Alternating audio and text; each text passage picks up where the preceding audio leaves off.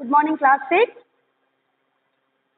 पिछली सैटरडे को हमने अपनी क्लास में कुछ प्रश्न उत्तर करे थे, ठीक है? जंगल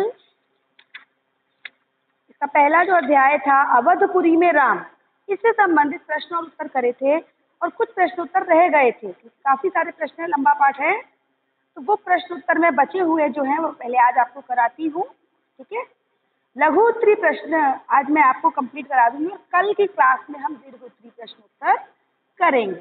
तो जो लघु उत्तरी प्रश्न आपके रह गए थे, उन्हें आप लिखें, मैं आपको डिक्टेट करूँगी, बोलूँगी, और उसी हिसाब से आप लिख करके उन्हें कॉपी पे लिखना शुरू करें, ठीक है? पहला है, अपने ज्येष्ठ, अपना ज्येष्ठ पुत्र मुझे दे दें।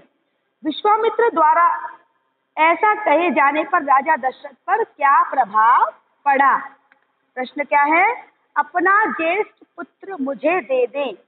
विश्वामित्र द्वारा ऐसा कहे जाने पर राजा दशरथ पर क्या प्रभाव पड़ा? इसको लिखेंगे, मैं आपको बोल रही हूँ।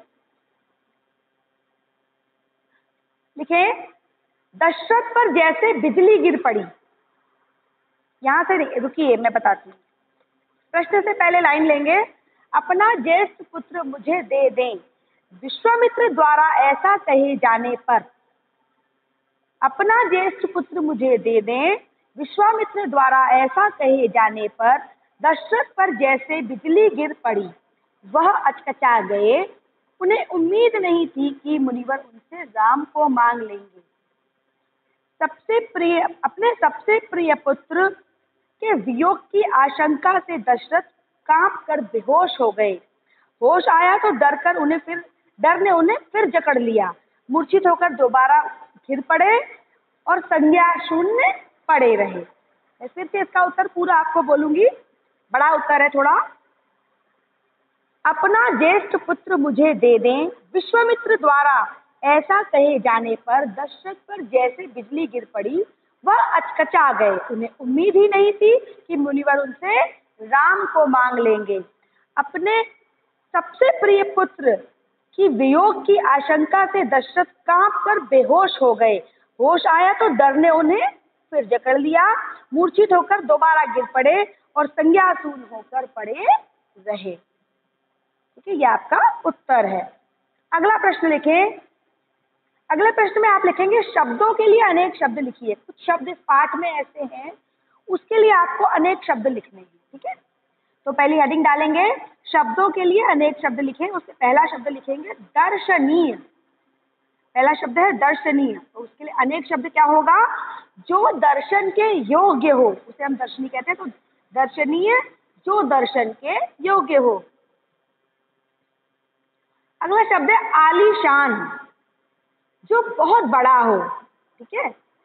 अगला शब्द है समृद्ध, जो हर तरह से संपन्न व खुशहाल हो, उसे कहते हैं समृद्ध। समृद्ध का मतलब होता है जो हर तरह से संपन्न और खुशहाल हो। मनोरम, जो मन को सुंदर लगे, उसे हम कहते हैं मनोरम। अगला शब्द है उत्तराधिकारी। सारी सभी सभी शब्द आपको अपनी कॉपी पे नोट करने हैं। उत्तराधिकारी, पिता के बाद कुल का वारिस को उत्तराधिकारी कहते हैं। अगला शब्द है पुत्रेष्ठ यज्ञ। तो पुत्रेष्ठी यज्ञ किसे कहते हैं?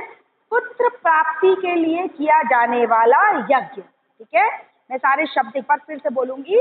दर्शनीय जो दर्शन के योग्य हो, आलीशान जो बहुत बड़ा हो, समृद्ध जो हर तरह से संपन्न व खुशहाल हो, मनोरम जो मन को सुंदर लगे, उत्तराधिकारी पिता के बाद कुल का वारिस पुत्रेष्ठी यज्ञ, पुत्र प्राप्ति के लिए किया जाने वाला तो ये दो प्रश्न आपके हो गए। अगला प्रश्न नोट करें। अयोध्या नगर की सुंदरता का वर्णन करो। अयोध्या नगर की सुंदरता का वर्णन करो।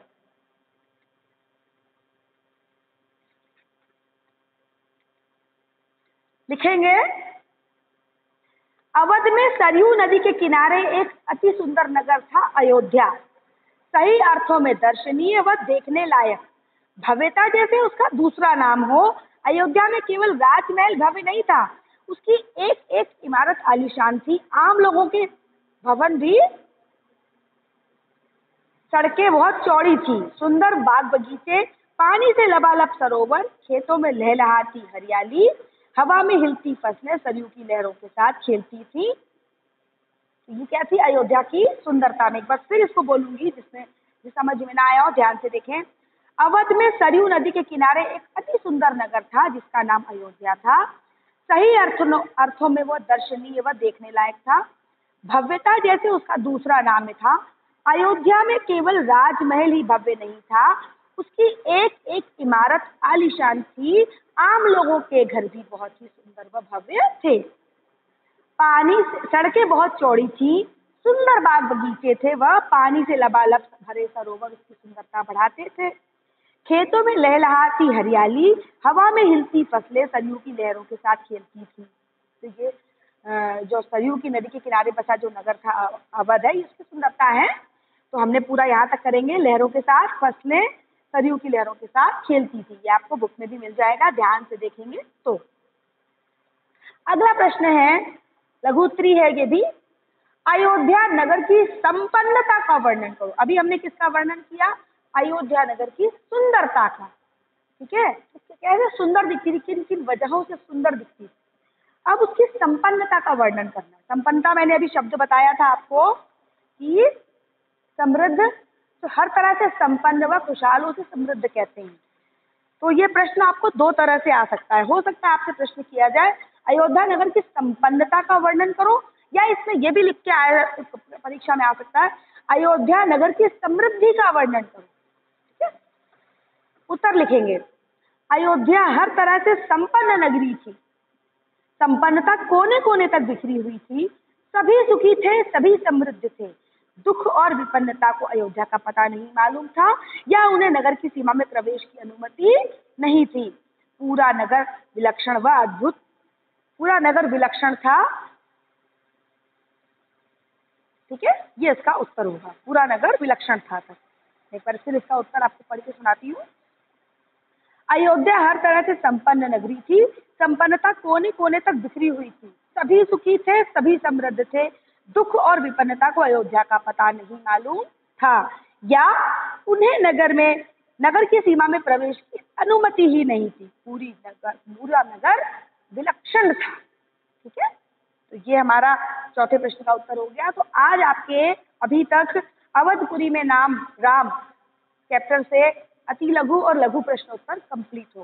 कल हम इसी के, इसी चैप्टर के दीर्घ उत्तरीय प्रश्न और उनके उत्तर करेंगे। आज के लिए इतना ही पर्याप्त है। Thank you